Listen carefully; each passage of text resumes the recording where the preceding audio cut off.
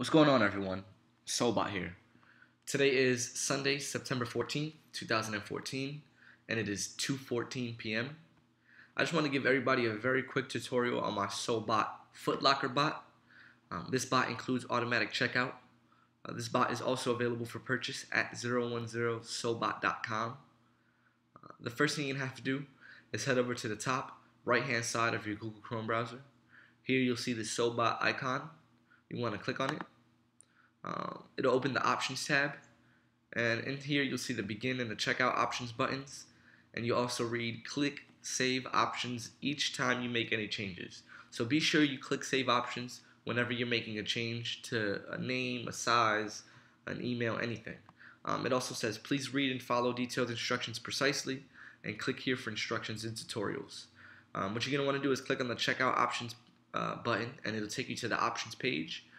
Here you'll find some nifty links such as shop bots, release calendar, latest news, shop sneakers, proof and testimonials, and also tutorials. Um, you're going to want to select the size.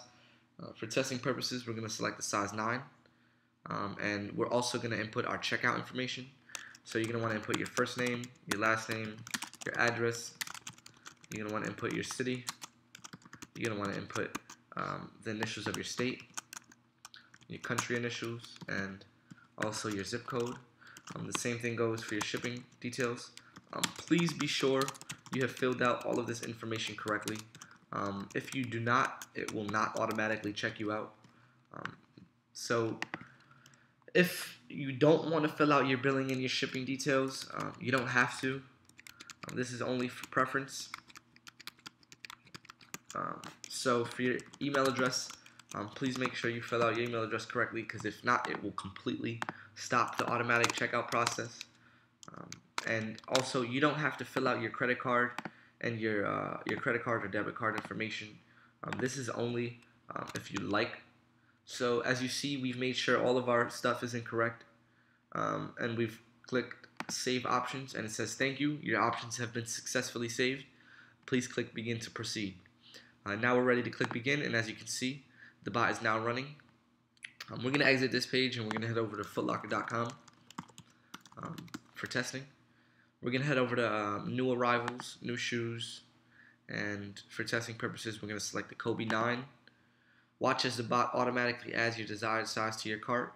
It automatically takes you to your checkout page and it automatically inputs your checkout information for you. Um, as you see, all of the information is incorrect even your credit card information, but being that this isn't a real credit card, the information did not automatically check you out.